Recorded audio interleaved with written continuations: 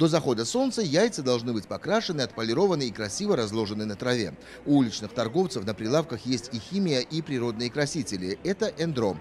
Корнем, который откапывают высоко в горах, много веков назад красили льняные ткани и пасхальные яйца.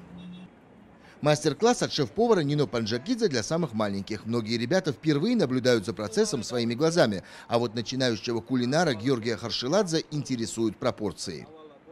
Сколько надо эндро, чтобы покрасить яйца? Приблизительно 100 грамм. Его хватит на 10-15 яиц. Корень Нино измельчает молоточком, затем смешивает с луковой шелухой. Для того, чтобы краска лучше держалась, в кастрюлю нужно добавить немного соли и уксуса. Обязательно яички, учтите, должны быть при- примерно где-то с неделю, чтобы хорошо окрасились. Свежие яички не окрашиваются сразу в красивый цвет. И наши бабушки а, умудрялись э, а, переносить орнамент на яйца таким простейшим методом.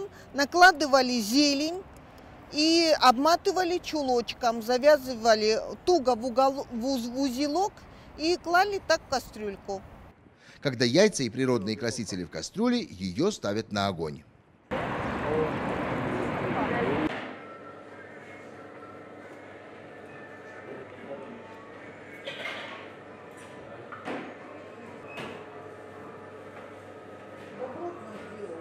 Пока яйца томились на плите, юные непоседы разбежались, а ведь остался лишь последний штрих – смазать яйца тряпочкой, пропитанной растительным маслом, чтобы блестели.